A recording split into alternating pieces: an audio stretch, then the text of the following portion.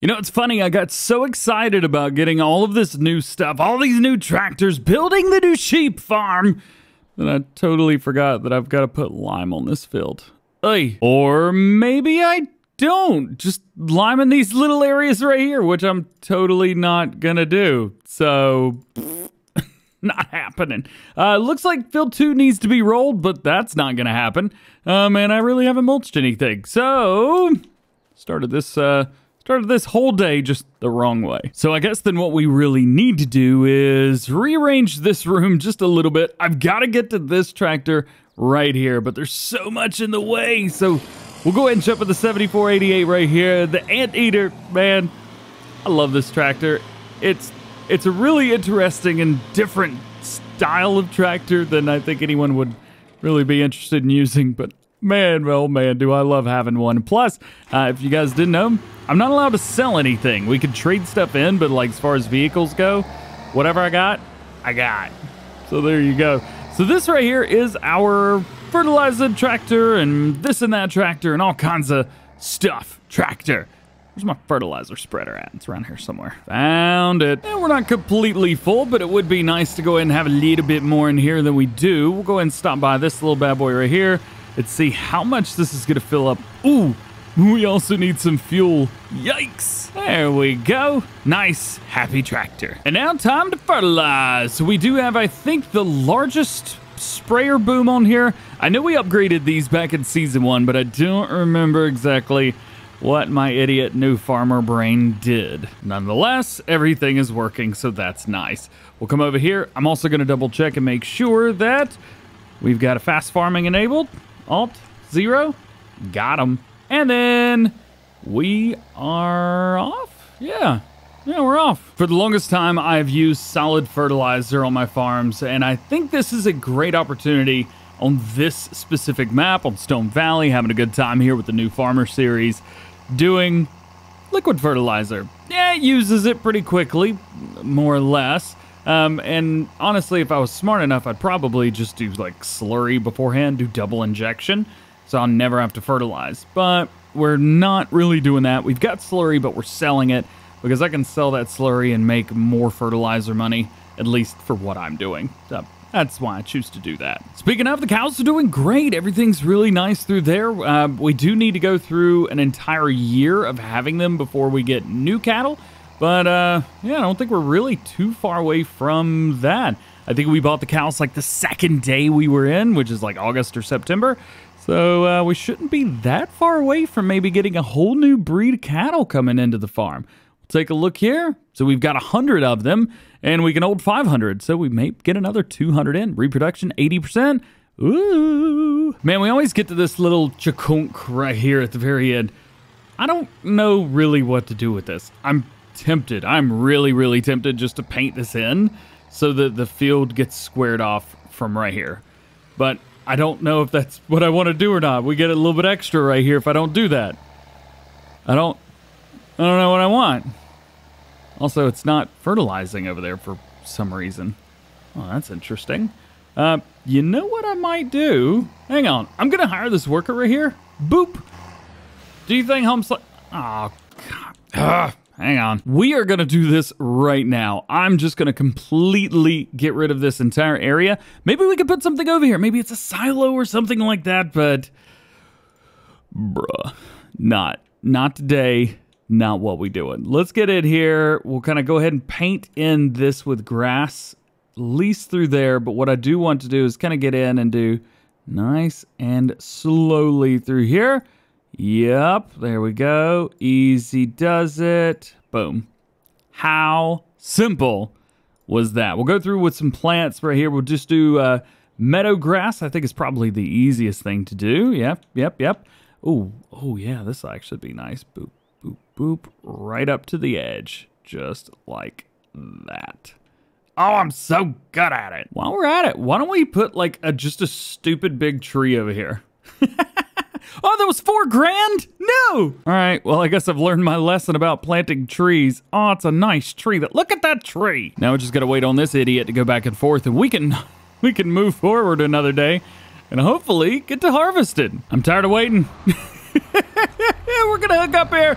This thing goes, uh, I don't know if it goes twice as fast, but it goes faster. Line it up, do my thing, and go. All right. Oh, I forgot it's going to go.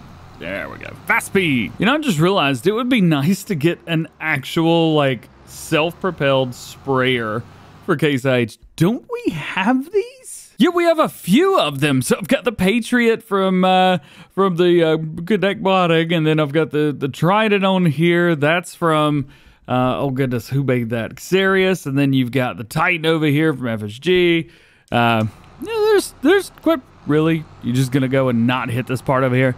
We've got a few different self-propelled IH sprayers. One of actually two of them could be used as spreaders as well. That might be a good investment. I know we only have 88 grand, but that might be a good idea later on down the road. Matter of fact, I want to look at them again.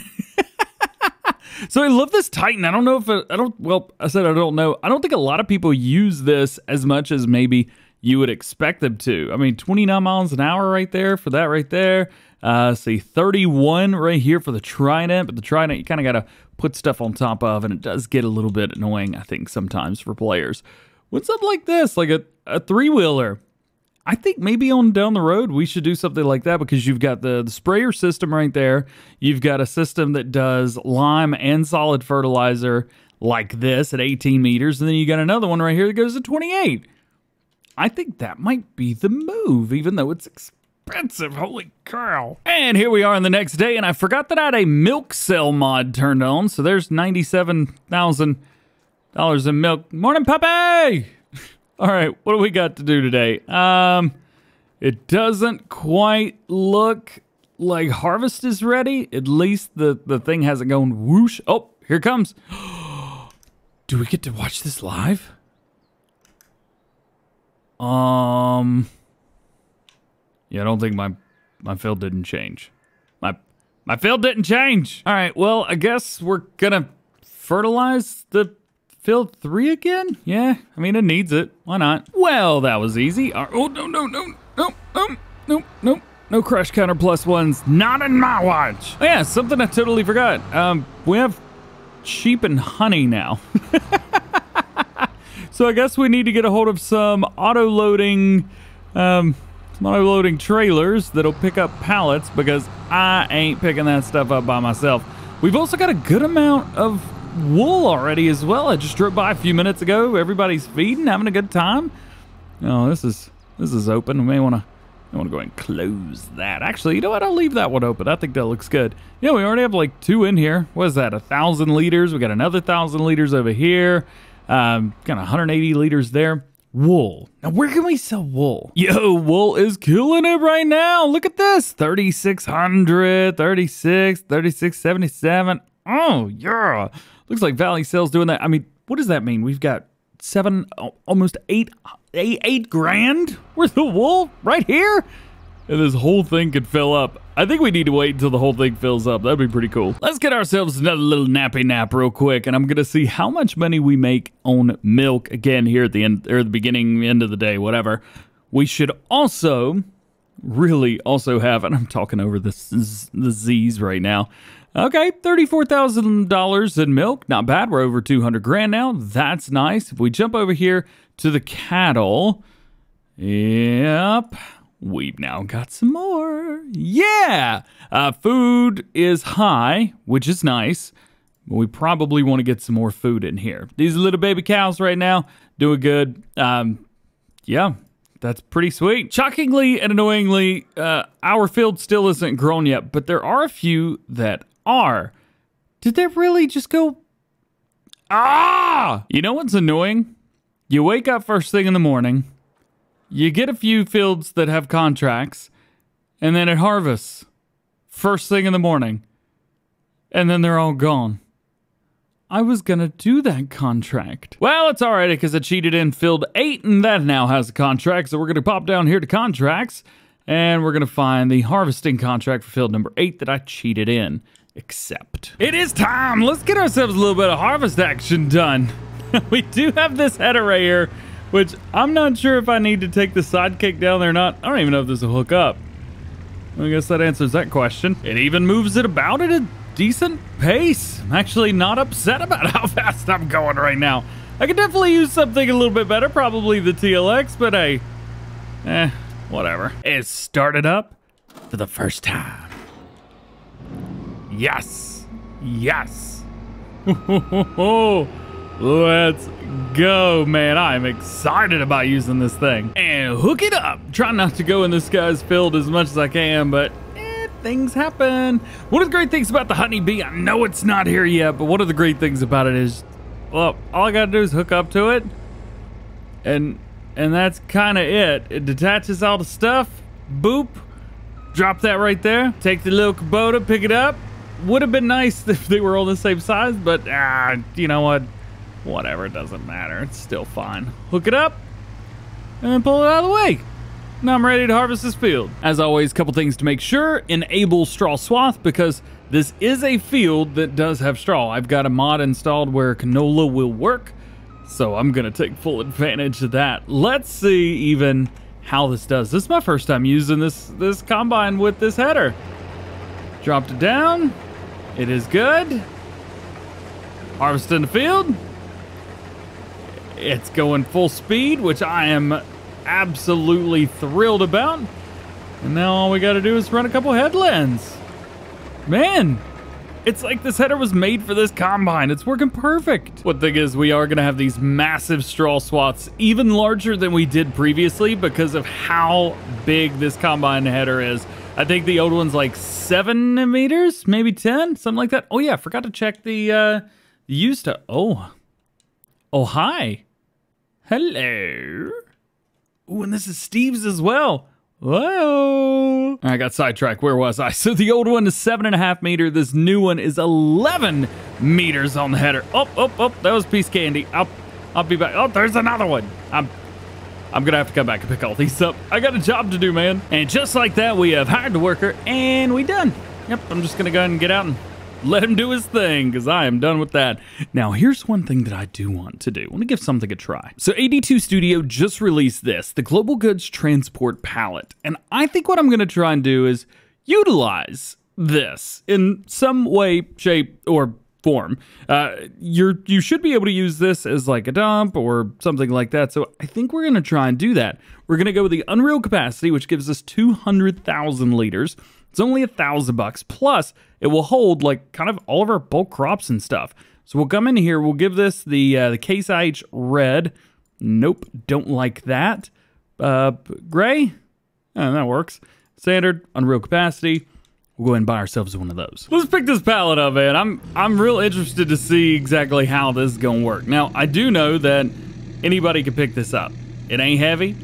It just is what it is. You can just pick it up, do your thing, put it on the back, Looks a little silly, but oh, oh, oh, no, no, want to get in there. There we go. And we'll strap it down. Now, in order to connect with this, we can also open it and close it, but it's always opened if you could see it. So at least there's that. And because this is a universal pallet, oh, oh that's, yeah, I'm not going to leave.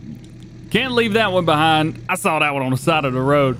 Because this is an auto pallet in itself, I don't think we're going to be demolishing any crops here. Nope, because it's a contract. Where is the combine? Where is he? Is he down here? Yeah, he is. I'm going to see if I can cart with this. I don't know if I can, but AD2 Studios said you could unfill it with a combine. So let's see how true that is. The pipe is opening. It's open. It's right there. Oh, it's filling it. Look at that. Canola into the bag. Actually, I need to let this worker go ahead and do his thing. But we'll speed up just a little bit right here. oh, it works. It shouldn't. I mean, it, I guess it should. It, it should definitely work. And it is. It is working.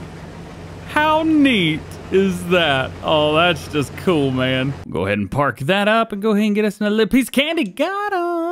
And now to get some baling done because we are going to be stealing all of the bales off of that field. Now, yes, you guys probably know that eventually I would like to upgrade to the big Case IH wing baler. If you guys aren't familiar with that one, dis. I want dis. But Ken has that because it's all the monies. So dis this is what we're gonna use for this. I could also use that mod where it was like big bales, but uh, I don't actually have, I mean, I've got it installed, I just have to buy it, and they're expensive.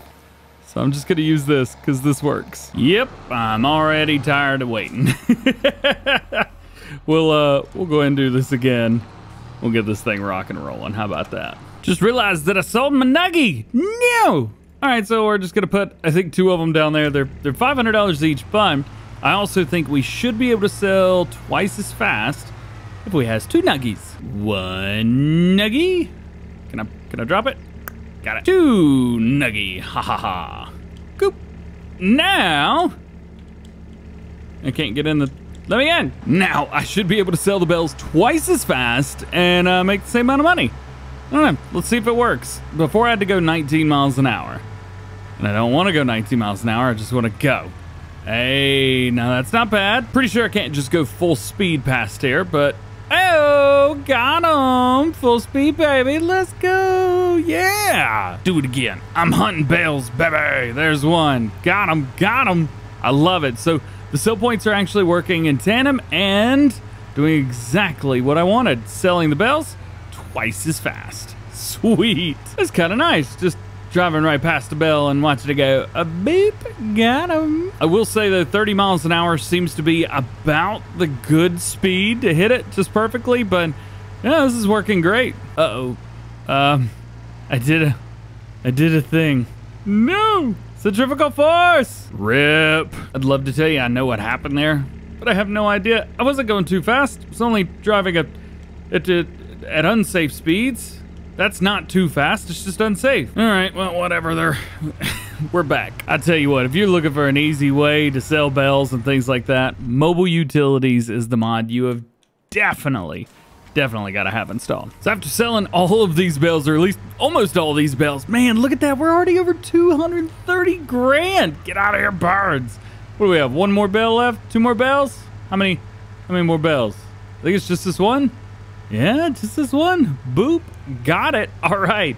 So a lot of bells have been sold right through there. We're up $324,000. And if you've seen the uh, thumbnail, well, you'll know that I did this. It was either film it or take a thumbnail, and I needed a thumbnail. I'm sorry, but we've got 108,000 liters in here, and we're taking it to the Sell Everything.